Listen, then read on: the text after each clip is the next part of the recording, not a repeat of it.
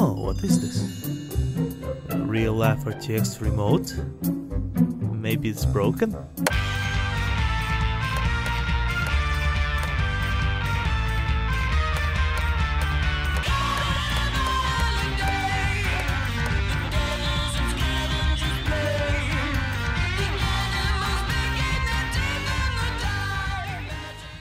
Hey, this is me, EasyRock. RTX on versus RTX off. How big is the difference? Will RTX make my gameplay much more enjoyable? Can we even see the difference? So many questions and I know that there is so many videos on YouTube already, but I want to check it myself if it's all true. And like would be awesome. Let's go! First game is Battlefield 5.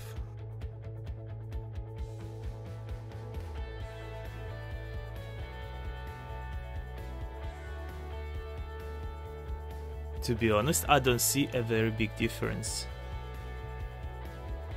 I checked way too many times in this game RTX actually off or on. So this test could be as accurate as possible.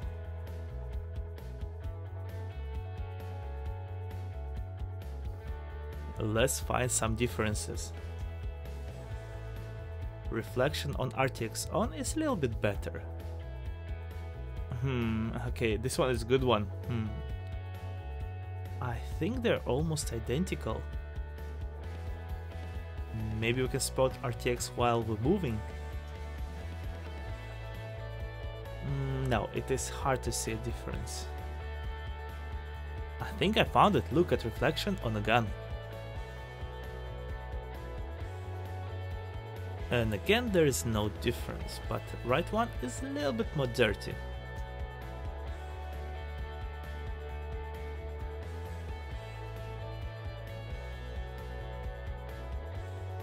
They are identical, there is no difference.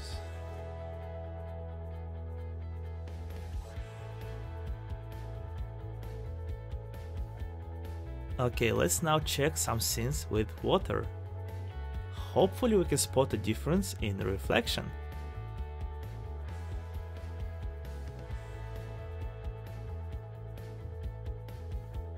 Well, I don't really understand.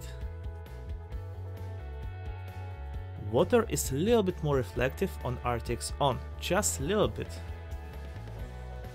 I think there is no real benefit to have RTX on in Battlefield 5. To be honest, I'm very very disappointed.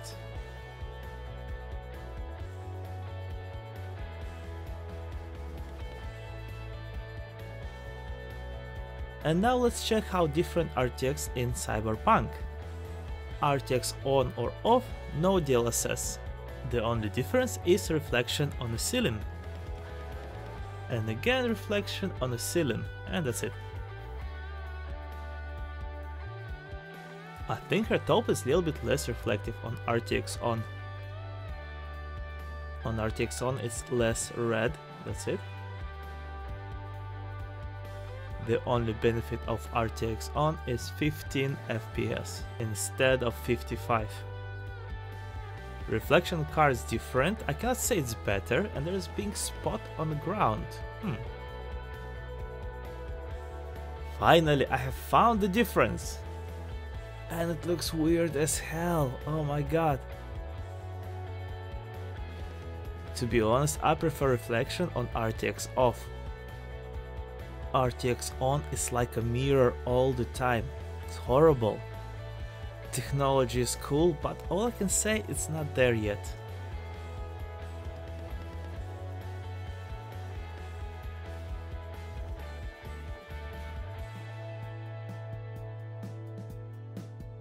I think it should be a little bit more muddy, like on RTX off kinda.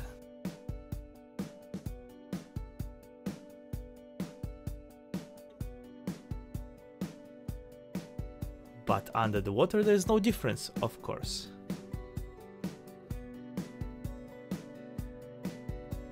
A little bit more brighter on RTX on.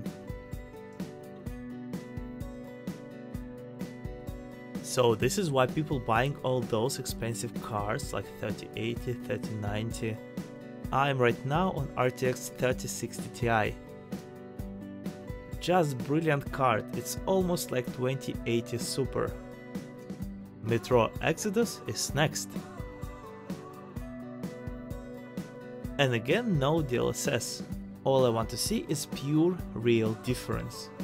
That's why there is no DLSS.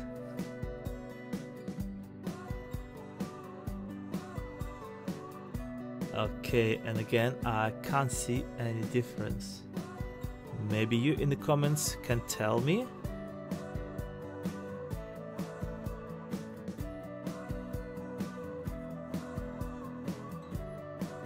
Shadow is a little bit different on RTX on, but it is just different. Well, I cannot say that I'm very impressed. I would never buy a new graphics card only for this.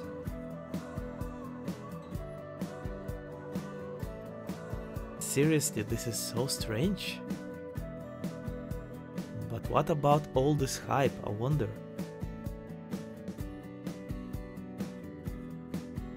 By the way, I already finished this game and all I can say it is just amazing.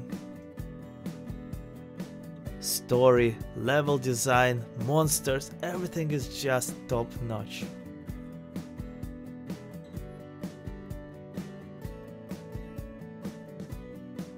So if you want to play an incredible, incredible game, Metro Exodus must be on your list, must be.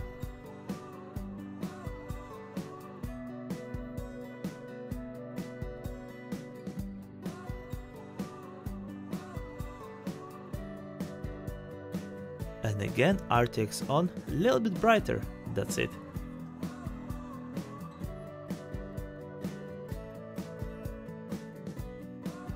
it is not very impressive again.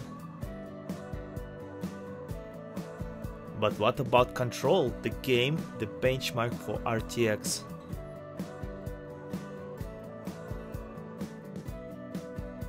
In my opinion, this scene always been very creepy. I like how I can see exit sign on the floor. By the way, there is no DLSS again.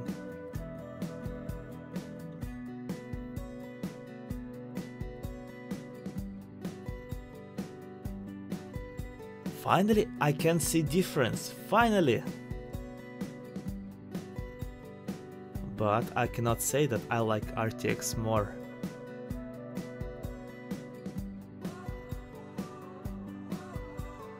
Okay, I must admit this looks great. It is interesting how she's reflecting from any glass. It feels like this floor was polished like never before. So many reflections, oh my god, my FPS.